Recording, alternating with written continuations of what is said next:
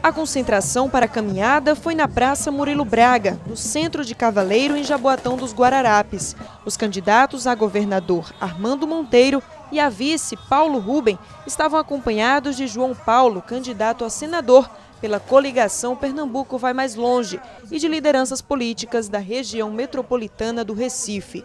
A militância seguiu todo o percurso até o mercado de Cavaleiro com bandeiras e carro de som.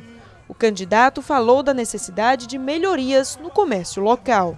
A gente constata a necessidade de requalificar o mercado. Há um esforço da Prefeitura Municipal, mas o governo do Estado precisa ser parceiro desse projeto, porque isso significa dar uma nova vida a essa região. E como Jaboatão tem uma grande vocação para o comércio, de micro e pequenos empresários, essa é uma bandeira do nosso governo. No trajeto, o candidato entrou em várias lojas para cumprimentar comerciantes e populares.